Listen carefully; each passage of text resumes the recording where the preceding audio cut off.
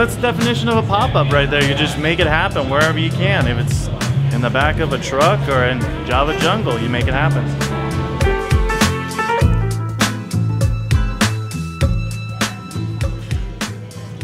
I feel great. Me, Adam Bronson, we're gonna kick ass.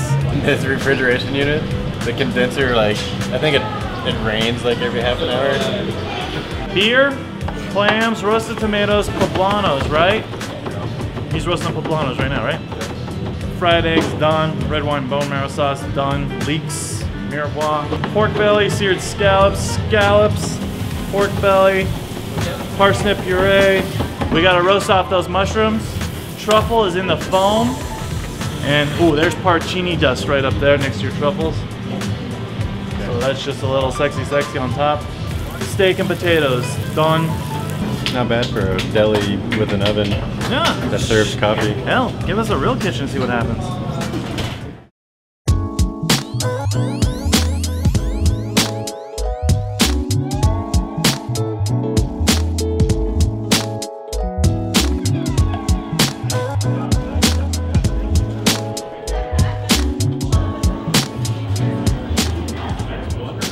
We just uh, roasted the scallops. You have a parsnip puree on the bottom, pickled beets and apples, a little bit of microgreens, and a nage, which is basically the pickling juice. And we add we reduce that down with a little bit of butter, give it a little zing.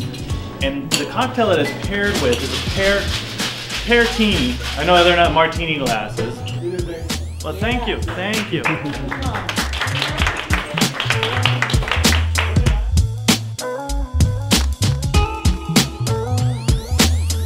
All right, so this is our consomme course. This is our version of a mushroom soup.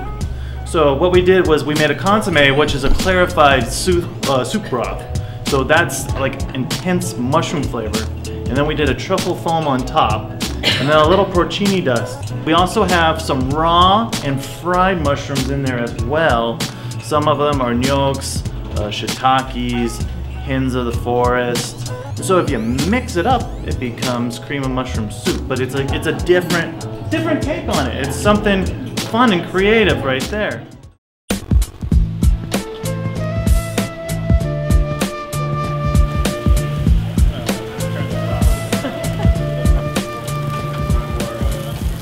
This is the brainchild of me and Adam. Everybody in town has steak and potatoes.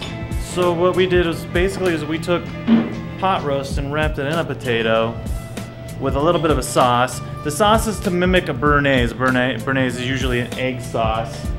Uh, now this one is the one with a lot of molecular things going on that. And I'm gonna let Adam explain that a little bit just to give you guys an idea what's going on.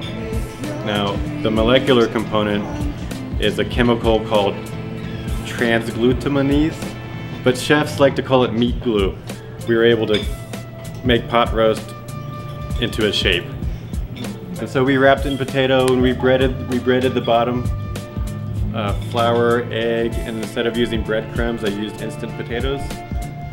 So potato on potato, and, and like Ben said, the, the béarnaise deconstruction, all, all the components still make it on the plate, it's just not classically prepared, so.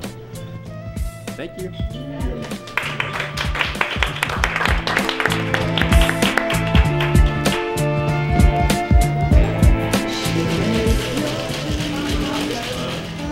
We follow that up with a different take on a tiramisu. Everybody, I'm, I'm, uh, I'm hoping has had a tiramisu, which is layered, lady fingers, mascarpone, coffee.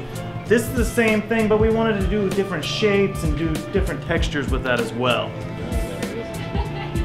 A couple of the concepts we're thinking about, one of them is called dining in the dark, where you'll come in, you won't see anything. We're gonna blindfold you, and you're gonna you're gonna experience the food by tasting it.